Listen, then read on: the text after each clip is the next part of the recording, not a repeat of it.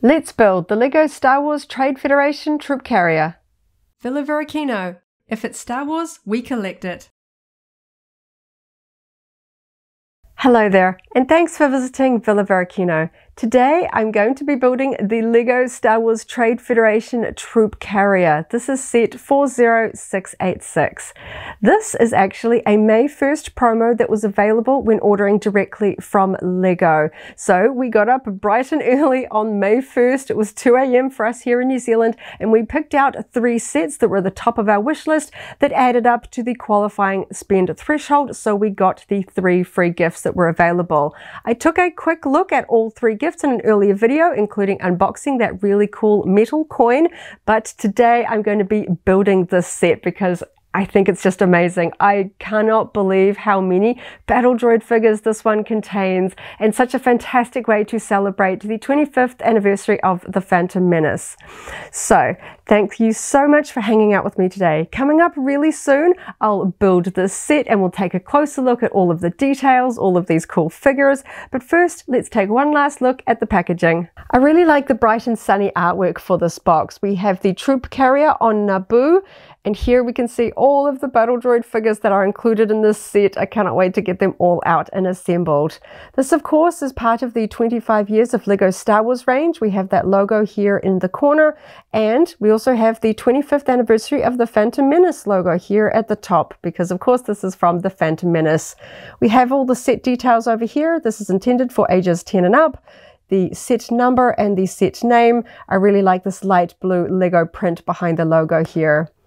Little picture of battle droids there on the side with the Lego Star Wars logo. The other side, we have more sort of copyright text, not intended for small children. And I really like the back art. It's just nice and clean, isn't it? We can see that the two pieces come apart. We can see some of the battle droids out of the troop carrier. We've got a little bit of the movement here showing how the two pieces can slot apart. And we also have the 25 years of Lego Star Wars brick here. I don't actually have one of these yet. I've got them in sets, but I haven't actually opened them up. So I'm very keen to see that in person. Standard copyright stuff on the bottom and on the top. We have an image here of one of the pilot battle droid figures in one-to-one -one scale. So there we go. Such a bright and fun box. I cannot wait to get building. The box opened really easily. There were just two strips of sellotape to snip through. There was no glue, so it stays intact, very nice and clean, perfect for collectors. Inside, there were three bags numbered there, nice and easy to follow through. One single piece there that is separate. It was just inside the box. And of course, we have the instruction booklet there. Lovely art there of the finished set on the cover. And we also have that 25 years of Lego Star Wars brick in there. So let's get building. I found the Trade Federation Troop Carrier to be a really fun build. It took me just over 38 minutes working at my usual Lego building pace.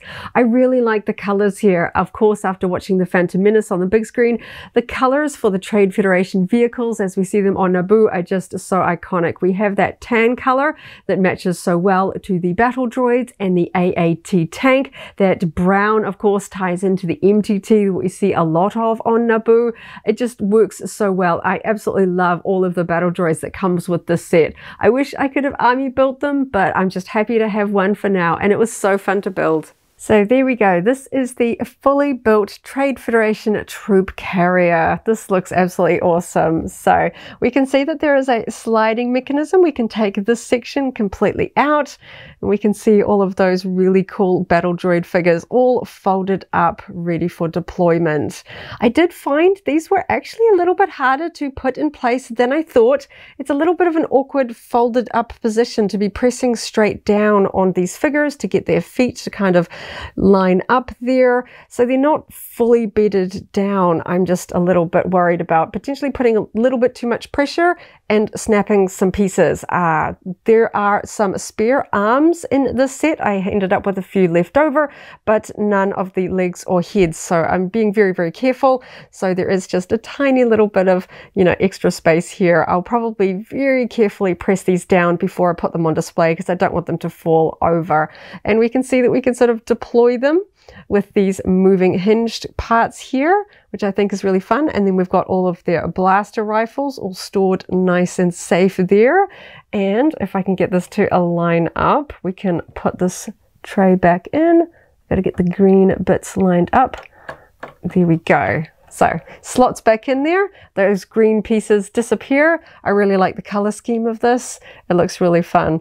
And I think this was such the perfect set to release for the 25th anniversary of the Phantom Menace and the 25 years of LEGO Star Wars, because of course LEGO launched their Star Wars line during the Phantom Menace release. So what a really fun way to celebrate the coinciding of those two anniversaries. I was too young, unfortunately, when the Phantom Menace came out to buy Lego. I simply didn't have enough pocket money and too young to sort of afford Lego for myself. So this is really sort of fulfilling my childhood dream of collecting Lego sets from the Phantom Menace. And of course, this is sort of a reissue, a modern interpretation of one of those very early 1999 sets from the Phantom Menace. So I think this was a really cool one. I know know that because it was a free gift with purchase promo item rather than a set available at the store shelves, these will probably most likely go to collectors rather than kids that want to recreate the Battle of Naboo with their Lego sets.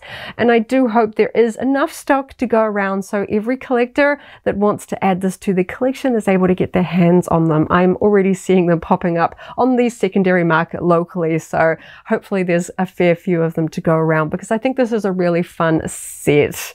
Absolutely wonderful way to celebrate May 4th by snagging some free Lego by buying some of the Lego that I already wanted to. And of course, because this is an anniversary set, it did include the 25 years of Lego Star Wars brick. This is my first set that includes this. I've got a few others that I haven't built yet, so it was fun to see this finally for the first time. Some of the other Lego sets that include this anniversary brick have some kind of display base so you can securely attach it so you don't lose it and you remember which set it came with. This one, it doesn't have a base or anything to attach it to. It just kind of sits next to it, but I still think it's really neat that they included this one. So there you go. That was my build of the Trade Federation Troop Carrier Lego set that was this year's free gift with purchase for May 1st.